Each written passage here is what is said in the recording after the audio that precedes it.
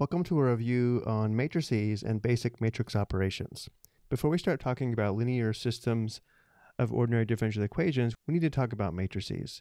A matrix is an m by n array of numbers, where m is a number of rows and n is a number of columns. Recall rows run left to right and columns run top to bottom.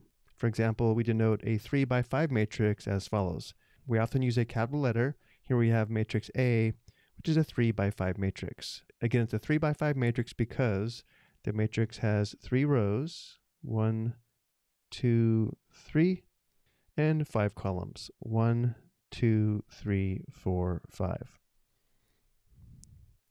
The numbers a sub ij are called elements or entries, where i is the row and j is the column of the entry or element. For example, the element a sub 1, 3 is the element in row 1, column 3. A sub 2, 4 is the element in row 2, column 4. And A sub 3, 2 is the element in row 3, column 2. Sometimes you will also see commas between i and j. When representing a vector using a matrix, we usually mean a column vector, meaning an m by 1 matrix. Remember, this means the matrix has m rows and one column. If we mean a row vector, we will explicitly say so. A row vector is a 1 by n matrix, which means a matrix with one row and n columns. We usually denote matrices by uppercase letters and vectors by lowercase letters with an arrow such as vector x or vector b.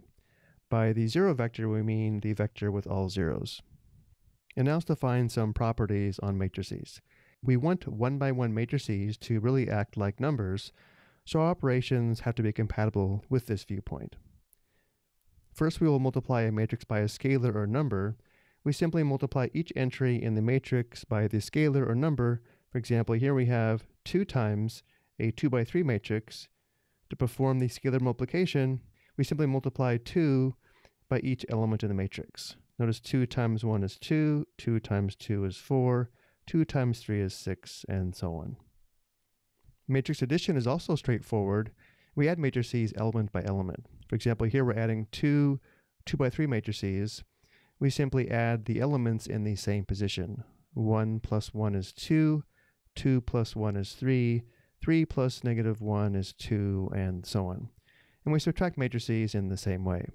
If the size or dimensions do not match up, then the addition as well as the subtraction would not be defined. If we denote by zero the matrix with all zero entries, where C and D are scalars and A, B, and C are matrices, we have the following familiar properties, which will remind us of the properties of real numbers. First, we have A plus 0 equals A, which is equal to 0 plus A. This should remind us of the additive identity property. Next, we have A plus B equals B plus A, which should remind us of the commutative property of addition. Next, we have the sum of a and b plus c is equal to a plus the sum of b and c. This should remind us of the associative property of addition. The last two properties should remind us of the distributive property, where c times the sum of a and b is equal to c times a plus c times b. Similarly, the sum of c and d times a is equal to c times a plus d times a. Another useful operation for matrices is the transpose. This operation just swaps the rows and columns of a matrix. The transpose of A is denoted as shown here. As an example, the transpose of this 2 by 3 matrix is equal to this 3 by 2 matrix. Because we're interchanging the rows and the columns, notice the dimensions change from 2 by 3 to 3 by 2. The first row in the original matrix becomes the first column in the transpose, and the second row in the original matrix becomes the second column in the transpose. We'll go ahead and stop here for this lesson. In the next lesson, we'll talk about matrix multiplication, which is a little bit more involved. I hope you found this helpful.